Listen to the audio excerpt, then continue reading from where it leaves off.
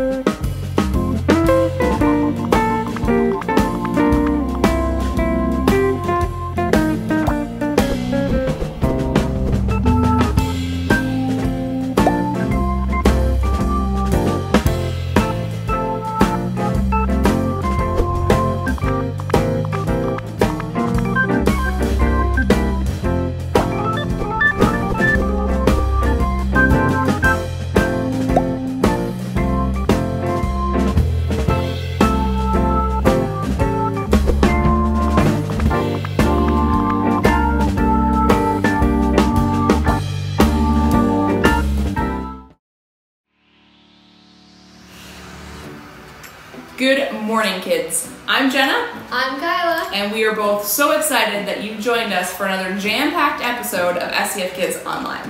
If you remember from last week, if you were tuned in, we talked a lot about the good and the bad kings of the southern kingdom of Judah.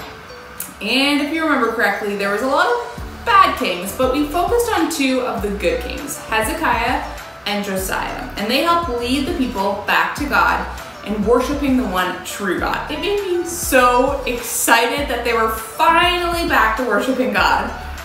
it's just wonderful. Um, Jenna, Yeah? unfortunately, things take a turn for the worse in our story today. Oh man, I knew that was gonna happen. Ah, well, we better get started and see what happened in our story today.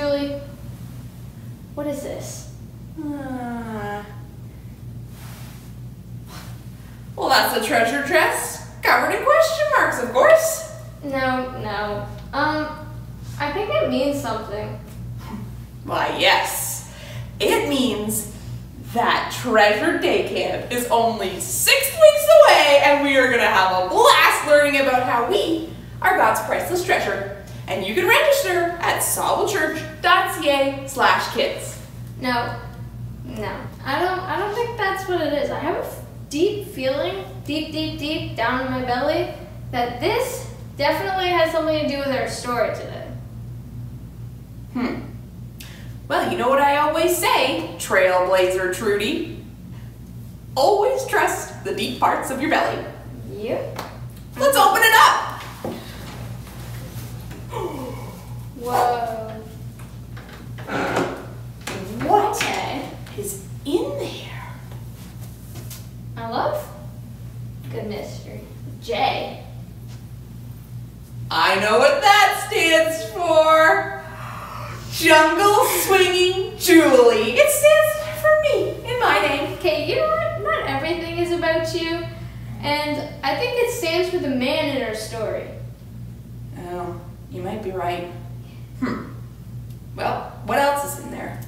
Well, there's also a man with the word prophet written across him. This is, this is starting to come together. Um, what else is in there? Well, there's also Castle of Judah.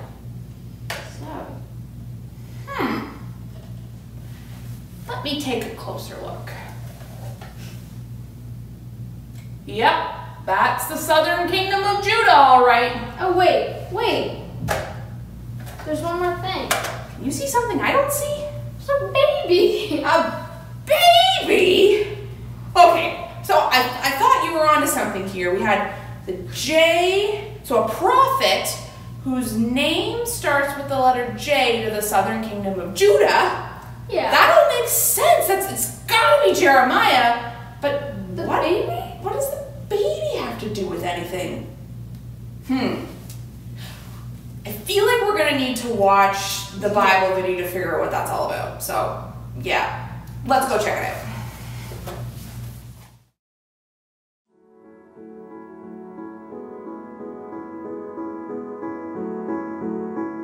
When Josiah was the king of Judah, God called a priest named Jeremiah to be a prophet. God told Jeremiah, I knew you before I made you in your mother's womb. Before you were born, I chose you to do very special things. I chose you to be a prophet to the nations. Oh, no, God, Jeremiah said. I don't know how to speak in front of other people. I am just a boy, only a youth.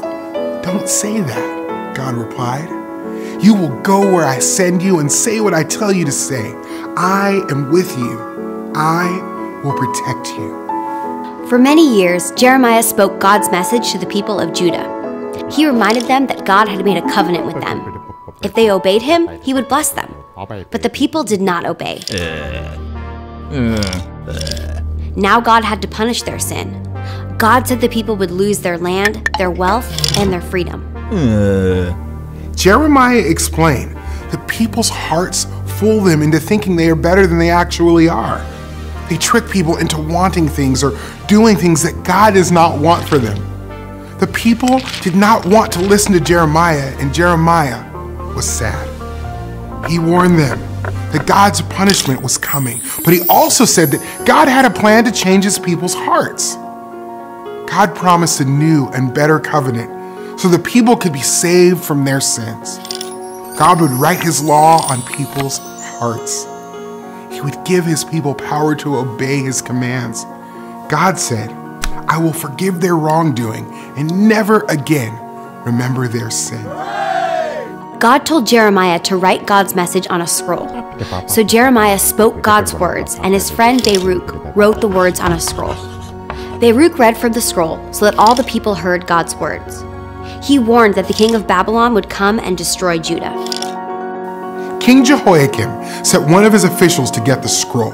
As the official read the scroll, King Jehoiakim cut off each part of the scroll and threw it into the fire. He did this until the entire scroll was burned up. So God told Jeremiah to write another scroll with the same words as the first scroll. Jeremiah told the king, God is going to punish you, your family, and your leaders for doing wrong things. God warned you this disaster will come to Judah, you did not listen. Jeremiah told about a day when God would forgive sin and change people's hearts. Jesus made these words come true. God forgives our sin through his Son, Jesus. He changes us and gives us power through his Spirit to obey his commands. Oh, so that's what the baby in the treasure chest was all about. God had called Jeremiah to be a prophet way before he was even a baby in his mother's womb. Like crazy. But speaking of the word prophet, it's kind of a big word. I do you know what it means? Uh, no, it's a big word. It's got seven letters in it. That's true. Seven letters is a long word. I have a friend. Her name is Miss Dictionary. I'm sure she can help us out with what a prophet is, because, well, we have no idea. So let's pass it off to her. Well, hello there. Miss Dictionary here, and you can always count on me when you need the definition of a big word. And today's big word is prophet. Simply put, a prophet is someone who listens to what God says and then takes that message to God's people. So, friends, that is your word of the day from Miss Dictionary, and I hope to see you again soon. Wow. Wasn't she so helpful, Kyla? Yes. I feel like we're going to need to see her again sometime. hmm So, Jeremiah was called by God to tell the people of Judah about him, to tell them that there was going to be a new way for their sins to be forgiven. It was going to be a pretty good way. I mean, Jesus was going to come and he was going to change their hearts. And he was going to have the Holy Spirit that was going to help us obey him, to obey God and to love him. I mean, Jeremiah had to show a lot of love to King Jehoiakim when he burnt the entire scroll that he had written God's words on into the fire. So, how do you show love to somebody when they're mean to you?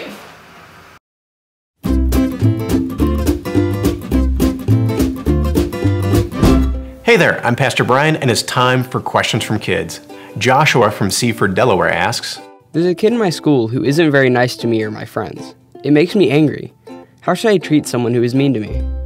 Joshua, that's a great question. And, and let me just say up front if somebody's being unkind to you or mean to you in a way that's bullying you, go talk to an adult. Uh, that is something that we need to take seriously, and you need to go get help with an adult. Uh, but if it's somebody who's just maybe saying some mean things every once in a while, or just not inviting you to, to do things with the other friends and so forth, it's understandable that you would get upset about that. It's understandable when somebody wrongs us that our hearts want to take us down this path of being angry. The problem is that if we let our hearts continue taking us down that path, we reach the point of acting out wrongly in our anger. And what can happen a lot of times is that when somebody sins against us, our anger drives us to sin against them. We want to get even. And really, at the heart of this is selfishness and pride. That we think, how, in the world could they do that to us? Don't they understand who I am? I don't deserve this. And it's really pride speaking, it's selfishness speaking. And this goes against what the gospel is about. The gospel is about us understanding that we don't deserve anything, that all that God gives us is an act of kindness to us, and we need to live humbly before Him and before others. And so, what we want to do is we want to go to war against that anger that starts to kind of drive up in our hearts and our minds. And we want to take that anger to God and pray about that and say, God, help us with this anger and let kindness replace anger. Because here's the thing Jesus lived on earth and he was treated unkindly by others, wasn't he? I mean, to the point of he was put to death on the cross.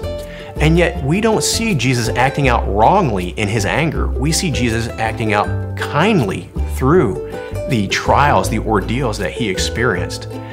And he did that for us. So we need to live likewise. We need to live kindly toward others, even when they're mean to us, not giving into anger, but pursuing kindness because God has given us kindness in Christ Jesus. Have you ever been surprised by someone else's kindness toward you?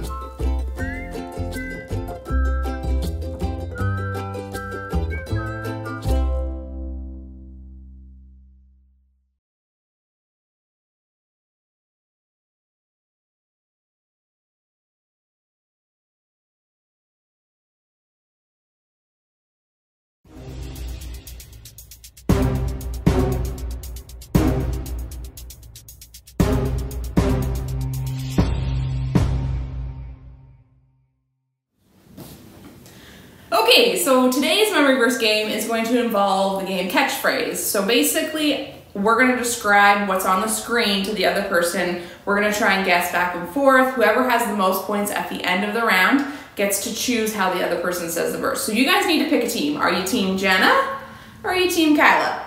Because you're going to read the verse with whoever. So and you're also going to try and guess what we're describing from home and see if you can get it before we do because this is a really tricky game. All right, so should I start? Yes. Okay.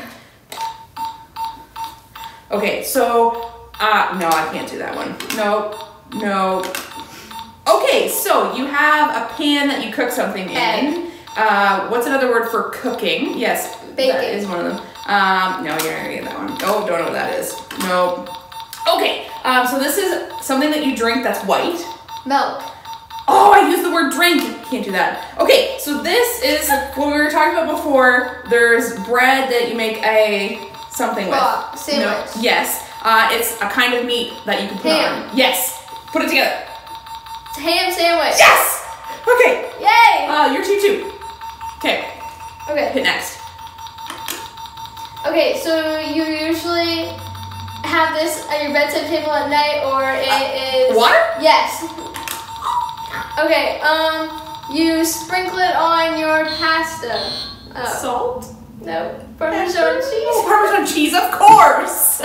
All right. Well, that was a tie. So we should just decide how we're gonna read the verse together. Okay. Uh, how about we read it really slow together? Slow as we can, okay? On the count of three. One, two, three. If my people who bear my name humble themselves, pray, and seek my face, and turn from their evil ways, then I will hear from heaven, forgive their sins, and heal their land. Second Chronicles 7:14. Okay. Let's try this again. Should I start? Yes. uh, Parmesan cheese. I totally could have got that. Oh, start. Okay, so uh, this is something that's super delicious. It's in the sh- shape of kind of like a half moon. It's made of bread, very like soft. The. French, the French would. Oh, oh, oh, um, uh, croissant. Yes. Uh, okay, so if you're sitting at the table and you're eating something and you want something that's on the other side, you ask them to Please pass the salt, uh, not salt, Pepper. something that you put on bread. butter. Yes. So Please pass the butter. yeah. Is that two? Yep. All right. Uh, oh, so this is something that's really sugary. It's delicious. Why am I still doing this? Cake. This is I'm supposed to pass Oh. it to you. Anyways, continue. Skip the next. Okay, you put this on pancakes. Syrup. What's our Canadian flag? Uh, Canadian maple syrup. yes. Oh, it's not a cake, but Oh, okay. Kyla, we, we forgot to pass it back and forth after we each got one anyways. Good so. Kyla technically got more than me, but anyway, We so how, how should I read the verse, Kyla? I think you should read it with your tongue out. Oh, okay. If you're on Team Jenna, you gotta read it with me with your tongue out. One, two, three. If my people who bear my name humble themselves, pray and seek my face, and turn from their evil ways, then I will heal from heaven, forgive their sins, and heal the land. Second Chronicles 7 14. Okay, so this time we're gonna actually pass it back and forth. Yeah. You start with it this time. Okay. Um, and then this is our last and final round, okay? So Oh my gosh. I gotta get Kyle on this one. Okay, ready? Ready? Okay, there are little sweet candies that when you go to like an arena or something, sometimes they have in the big containers. You can twist them; they all fall out in a big bump. Rockets? Nope. Um, they are all different colors and they're squishy when you eat them. Jelly beans? Yes. Oh, here. yes. Uh, okay, so you, the English would drink this in a cup. Tea. Uh, yes, so it's a, Cup of tea. yeah. Oh, I would that one. Um, Oh, you put it in the microwave and it makes a bunch Popcorn. of yes. Oh, sorry. Uh, okay, so you put this in your mouth and it makes your something smell good. Um, mint gum. Yes, but what is it that smells good? That Your comes- breath. Oh, how many? I don't even. I wasn't keeping track. You had two. I, I had two, and you had one. Mm, I think so. Zero? So, uh, anyways, I won that time, guys. So I think for the final round, Team Kyla is going to. Oh. Hmm. Say it in an opera voice. How do you even do that? Uh, if my people who bear my name. okay. You know, like that. Ready. Are you guys ready? Okay. Three, two, one. If people who bear my name humble themselves, pray, and seek my face and turn from their evil ways, then I will hear from the heavens and forgive their sins and heal their land. Second Chronicles 7 14. Ah, Team Kyla, that was that was not nice of me, was it? I'm Oh, sorry. it was I- you did a fine job. All right, that is our memory verse game for today. I hope you had fun practicing that, and hopefully you caught some of those before we did. But uh, go ahead, grab your Bibles, and we'll be right back in just a second.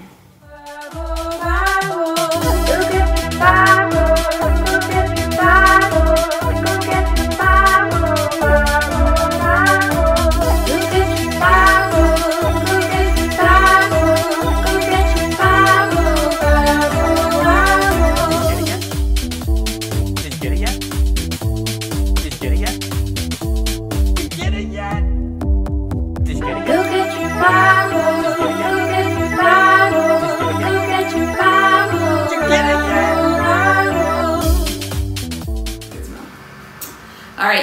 got your Bibles. Hold them up and open them to Ezekiel chapter 36, and we're going to read verses 26 and 27. So I'll give you a few seconds. You can pause the video if you need a little extra time.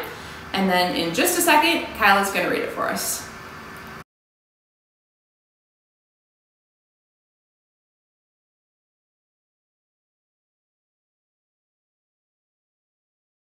Alright, so hopefully all of you have your books open and ready, and I can read it for you. So it says, I will give you a new heart and a new mind. I will take away your stubborn heart of stone and give you an obedient heart.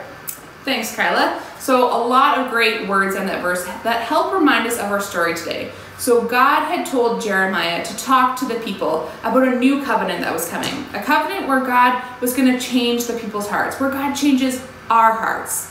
So, before people's hearts were cold and hard, but with the new covenant, God softens our hearts and makes them open to Him. And so I want to take some time now to open our hearts, let God soften our hearts so that we can worship Him and thank Him for this new covenant that God has given us. Would you worship with me?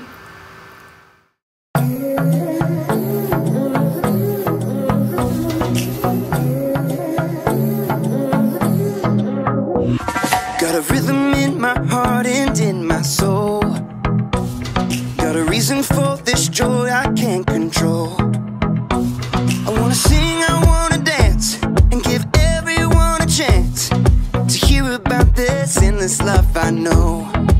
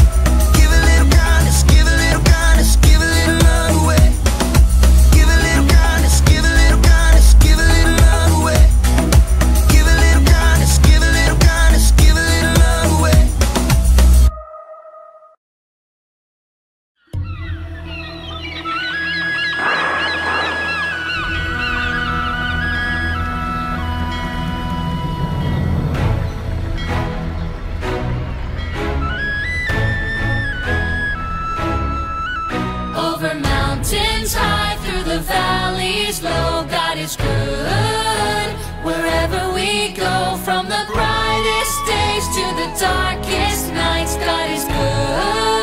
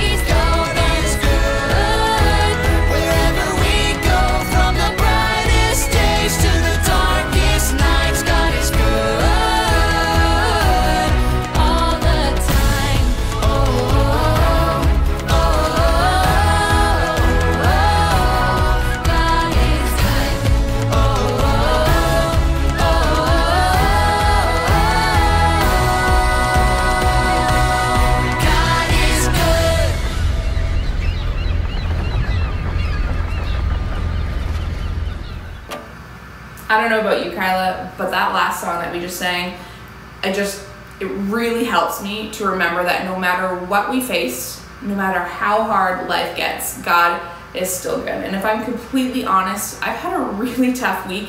There's been some heartbreak and things that have been really hard for me and our family. Um, so I definitely needed that reminder today. So Kyla, is there a time that you can remember in your life where you were like, God is good in this situation? Yes. So all the time at school, when it gets stressful or really hard, or you maybe even have a test, I pray to God and just try and remember that He's always there and is always gonna make sure that everything goes good, and that there's always good to come out of the bad. So hopefully, you can all do that too. Thanks for sharing, Kyla. I mean, there's always uh, there always seems to be tough things that come in our life, and it can be hard to remember that God is good when you're going through something really tough. But I was reminded of that this week, and when I stopped and prayed, um, I even prayed with my daughter while driving to the park in the car, and God really helped to remind me that He's good, and I that song just helped bring that all back for me today. So let's close our morning with a word of prayer, and then we'll see you guys next week. All right. Lord, you are good, and you have given good plans for us. Thank you for your word.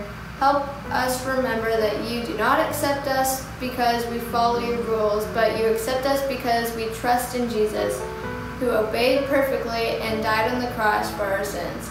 Change our hearts and give us power through your Spirit to love and obey you. Amen.